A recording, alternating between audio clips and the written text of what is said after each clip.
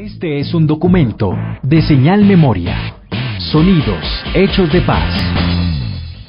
Hace muchos años cesaron los airados clamores de la guerra, enmudecieron las trompas sonoras.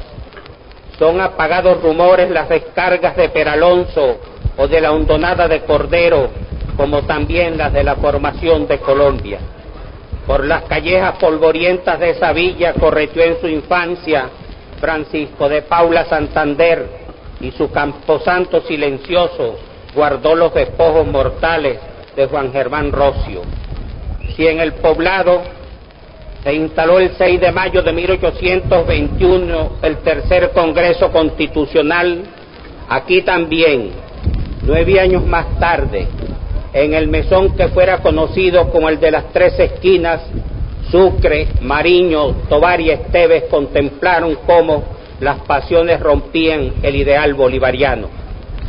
No es la primera vez que en este mismo sitio se reúnen los mandatarios de estas tierras unidas en la historia. Hace apenas dos décadas, sobre el viejo puente Bolívar, los entonces jefes de Estado de Venezuela y Colombia, presidentes López, López Contreras y Santos, se reunieron para proclamar soluciones a problemas que venían resonando desde los días formativos de la República.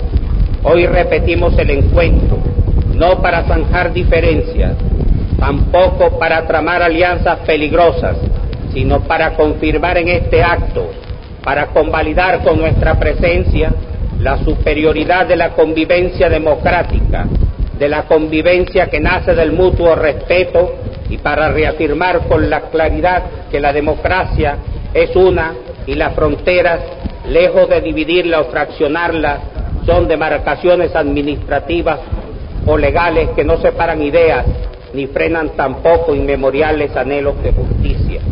Este es un documento de señal memoria. Sonidos hechos de paz.